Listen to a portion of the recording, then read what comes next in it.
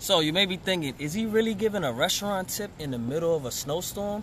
Yeah, I am. And keep watching to find out why. So check this out. Over here in the Washington D.C. area, we had our first, you know, snowstorm, and um, people are snowed in about five to six inches.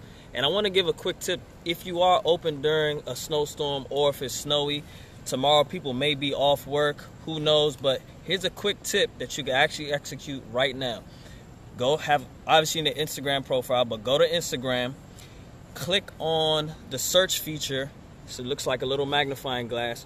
Go to places, type in your local town. Try to get as specific as you can to where you're at, where your location is.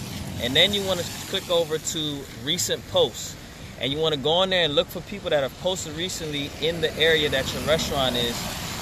Click on their profile, hit message, and send them a direct message with some kind of urgent special, something that has some kind of level of scarcity and fits the profile or fits their particular appetite. So take a second, look at their post. If you see certain food item that they may have posted or not, you can go with that. But either way, you want to send them a message and say something like this. Snowden special, good for the next three hours with this message. Come in and get X amount off or buy one, get one free or whatever it is you want to give away. That's a quick tip that you can use to get people around your area that may be going through cabin fever and just want to get out and walk over to the nearest location.